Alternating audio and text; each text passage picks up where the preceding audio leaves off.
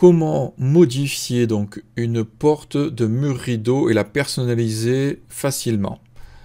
Bonjour, je suis Pascal Cameletti, architecte formateur Revit. Aujourd'hui, je vais vous présenter donc comment modifier donc une famille qui va rentrer de porte qui va rentrer dans un mur rideau. Comment la charger et donc comment la personnaliser facilement en fonction de tout ce que vous avez déjà sur Revit. Vous allez voir, c'est assez rapide, c'est simple. Alors, je vous rappelle avant de démarrer ce tuto que en cliquant donc sous la vidéo, sur le lien qui est sous la vidéo, ça va vous permettre de pouvoir accéder au fichier.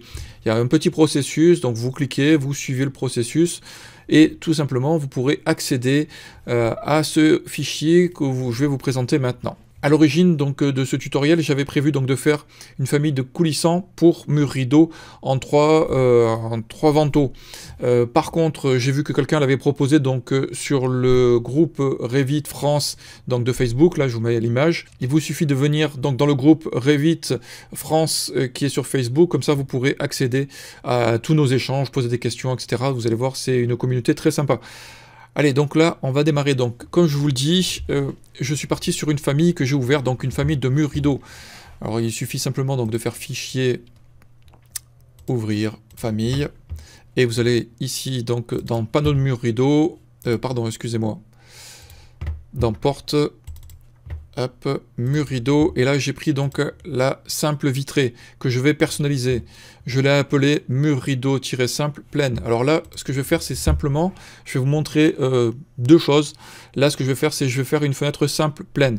Vous allez voir, c'est très simple à la base. Il vous suffit, donc maintenant, une fois que vous l'avez ouverte, vous pouvez venir ici. On a la possibilité de supprimer donc le vitrage, tout simplement, pour faire une porte pleine. Donc là, je supprime le vitrage. Si je retourne maintenant sur la vue 3D, je vois que le vitrage a été supprimé. Là, je vais modifier le cadre de porte, tout simplement. Donc là, ce que je fais, je fais modifier l'extrusion. Là, je vois qu'il y a des contraintes qui ont été créées de cadre de manière à avoir des épaisseurs, des dimensions de ce cadre-là, en supprimant tout simplement la partie intérieure. Donc, il supprime les contraintes. Je valide. Et là, j'ai un panneau plein. Maintenant, je vois que cette porte-là, elle a une poignée qui n'est pas très esthétique. J'ai envie de la changer, de proposer deux types de portes, de poignées, pardon, en fonction de la porte. Alors, tout simplement, ce que je vais faire, je vais faire... Déjà, je vais enregistrer ça, pas faire de bêtises. Je vais faire fichier, je vais aller ouvrir une famille. Je vais charger une porte standard pour aller chercher la poignée. Donc on va aller... Alors du coup, on va prendre la porte donc intérieure simple. On va prendre celle-ci. On va l'ouvrir, on va aller récupérer la poignée. Donc là, on va faire modifier la famille. on va choisir la poignée, on va faire modifier la famille. Ça, on va la charger dans le panneau mur rideau. Ça, j'ai une poignée. Là, je vais choisir placer par rapport au plan de construction, de manière à être placé par rapport au plan de construction. Fait barre d'espace je vais m'aligner ici. Donc comme ça, j'ai une poignée qui va s'afficher ici. Je vais faire un aligné sur le plan de référence qui est ici. Et là, on voit que j'ai ici un élément de poignée donc qui vient s'accrocher. Je verrouille. Ici, cette poignée là, je vais pouvoir lui donner un écartement en fonction du panneau. Le panneau fait 50 mm. J'ai la référence ici. Donc là, je vais pouvoir modifier mon épaisseur. Tac, ici. Ok, alors je vais voir si j'ai un lien possible avec le panneau. Est-ce que c'est une propriété? On voit ici épaisseur, donc là j'ai 50. Donc je peux mettre l'épaisseur en, relation. Il me suffit donc de faire modifier. Là, épaisseur panneau 50 ici pour la poignée de porte. Donc là, et je dis épaisseur. Comme ça, moi, si l'épaisseur de mon panneau ici vient changer. Je vais vérifier si je mets en mettre 45 mm. Faire appliquer. Voilà, on voit que la poignée suit. Ensuite, donc maintenant que j'ai mes deux poignées, il va falloir que je choisisse quelle est la poignée que je vais faire afficher en fonction de euh, l'occurrence, c'est-à-dire que la porte, je vais pouvoir placer dans mon mur rideau différentes portes, et ainsi je vais pouvoir choisir visuellement ce que je veux. Alors, on va faire comme ceci. Il suffit de choisir ici la première poignée. Là, elle est visible. Donc là, je vais lui créer un paramètre de visibilité. Je vais l'appeler poignée courbe. Je vais dire un paramètre d'occurrence. Choisir visibilité. Je fais OK. Et là, je fais la même chose. Je choisis ici, visible. Je crée un nouveau. Poignée rectangle, on va dire. Une poignée droite, on va marquer. Droite. En l'occurrence, et dans le paramètre de visibilité, je fais OK. Et maintenant, je vais pouvoir dire tout simplement que je vais pouvoir afficher ou l'une ou l'autre, pas les deux en même temps. Il me suffit donc d'aller ici dans paramètres de visibilité, et là je vais dire, hop, la poignée droite va s'afficher lorsque ce n'est pas... Pardon, c'est ça qu'il faut que je récupère, pardon. Hop. Ici. Et là, on va marquer note.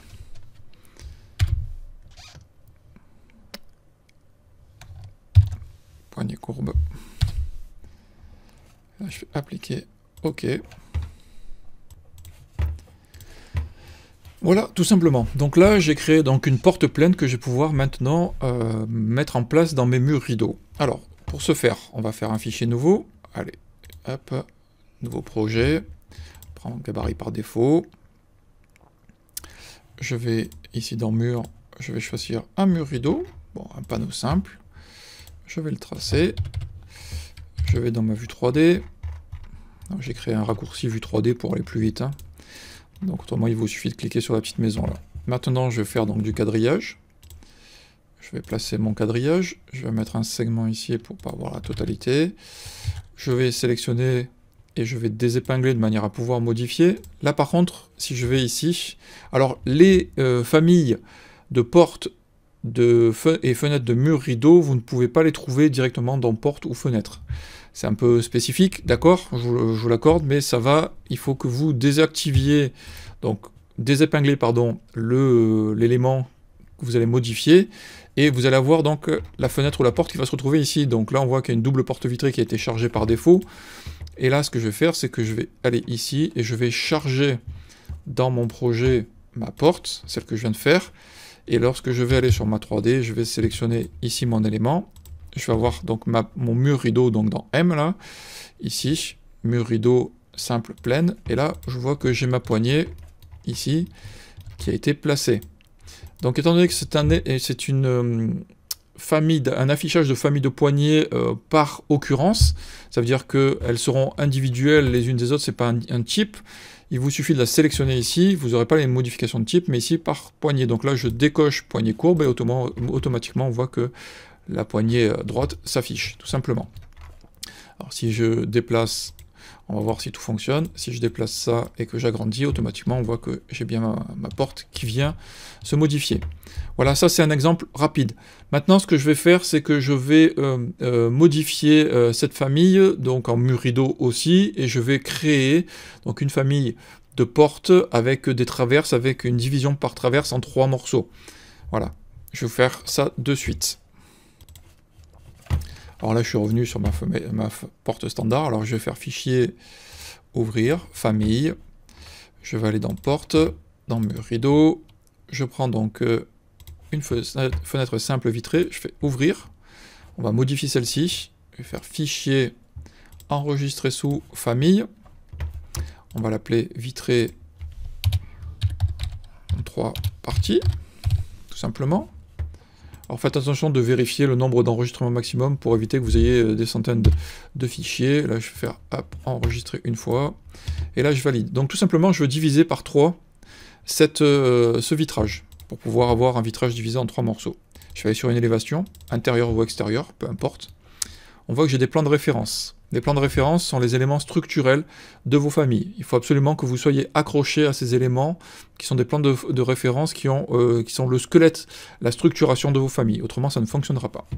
Donc pour faire une partie division en 3, il me faut un plan de référence à la verticale. Alors je vais regarder si sur la partie extérieure j'ai les hauteurs. Non.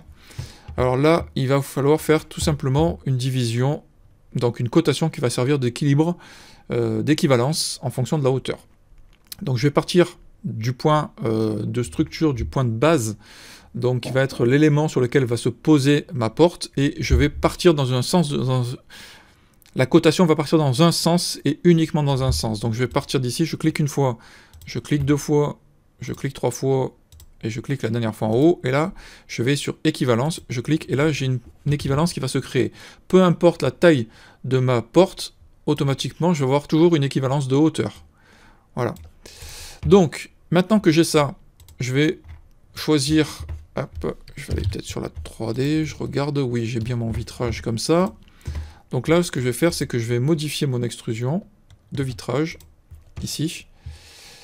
Je vais faire modifier l'extrusion, et on voit que c'est une division comme ceci. Il va me falloir avoir des éléments qui vont structurer, euh, mes meneaux intermédiaires. Alors avant donc, de faire la modification de vitrage, je vais créer mes meneaux intermédiaires. Donc ça va être une extrusion. Je vais créer une extrusion. Je vais prendre le plan de référence qui va être, à mon avis, le plan de référence centre avant-arrière. Oui, on va faire ça. Je vais créer un support comme ça. Ok. Je vais le dupliquer, histoire que nous ayons quelque chose qui soit identique. Oups, pardon. Je recommence. CC pour copier. Je reste bien droit. Voilà, comme ça j'ai les mêmes épaisseurs. Je vais pouvoir caler et bloquer mes épaisseurs de ces éléments-là. Donc je vais partir de mon plan de référence, qui va être l'élément structurel. Je clique une fois, une fois de l'autre je vais faire une équivalence. Et après, si je veux éventuellement dimensionner, je pourrais le dimensionner comme ça. Alors, il me suffit d'attraper ici, et là, j'ai une valeur. Alors, on va faire une cote. On va placer une cote, histoire d'avoir quelque chose qui soit cohérent. Pour pas que ce soit trop gros non plus. Ici, là, je sélectionne, et là, je vais mettre... Euh, allez, je vais mettre 30, histoire d'avoir quelque chose qui soit assez cohérent. Je vais faire la même chose en dessous. Je pars du milieu, je pose d'un côté, je pose de l'autre, je pose ma cote, je fais une équivalence, je plante de là, et ici, je pose là, je sélectionne, et là, je mets 30. Voilà. Je pourrais tout à fait donc verrouiller euh, ici mon cadenas de manière à ce que la cote de 60 soit toujours contrainte. idem de l'autre côté. Voilà, je fais ça. Et là, je valide. On voit ici que l'élément, on a un matériau qui est euh, non signifié, qui est un matériau par défaut. Donc il vous suffit ici de choisir le même matériau que le cadre. Donc là on voit qu'il s'appelle panneau. Je sélectionne ici, je ne vais pas mettre vert, je vais mettre panneau, comme ça on a les mêmes matériaux. Est-ce qu'il est catégorisé Porte panneau. Et là je vais choisir et je vais prendre panneau ici. Comme ça au moins on a les mêmes matériaux qui vont s'afficher. Maintenant je vais prendre ici mon vitrage si j'arrive à l'attraper, oui, normalement je dois pouvoir l'attraper. Je vais quand même vérifier comme ça. Hop, on voit ici. Ce qu'on va faire, c'est que il faudra caler aussi l'épaisseur globale. Hop, alors je vais retourner sur mon plan de limite de base ici. On voit qu'il est positionné là. Alors, hop, ce plan de référence, c'était le plan, hop, qui s'appelle, pardon, euh, plan de référence. Donc du coup, on va changer, on va modifier le plan de construction et qui s'appelle référence. Ok, comme ça, moi, j'ai mon élément qui est sur le même plan de référence. Si je retourne sur ma 3D, je vérifie. Il arrive ici. Mon épaisseur, elle fait 10. Il va falloir que je l'épaississe un peu plus. Si je reviens ici. Alors, étant donné que je l'ai ici, si j'ai une épaisseur qui est de ce côté-là, on va faire ça, de manière à ce qu'il soit de part et d'autre. Alors pour ce faire, on va aussi mettre une cote qu'on va équilibrer. Alors, faire attention de ne pas saisir le plan de référence qui est là. Hein. C'est bien ce plan de référence ici avec les éléments donc de notre panneau. On va le poser, on va faire une équivalence. Et donc l'élément de ce côté-là, on va lui dire qu'on veut 10, histoire qu'on n'ait pas de problème sur l'extrusion. Alors là, on va mettre 10. Ok. Et moins 10. Voilà. Comme ça, au moins, je suis bien équilibré, je traverse bien mon vitrage.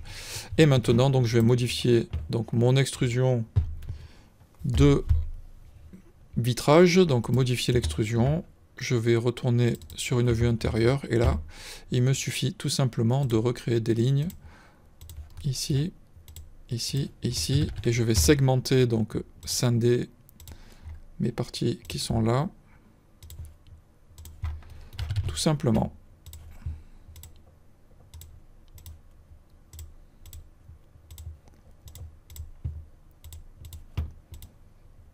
Faites attention d'être dans le bon sens, voilà.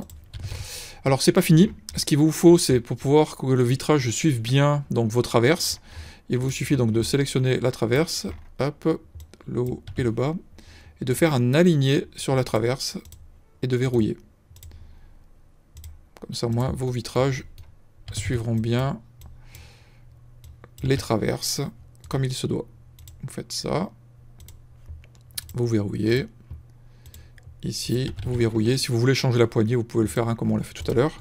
Voilà, donc maintenant, j'enregistre ma famille. Je vais la charger dans mon projet.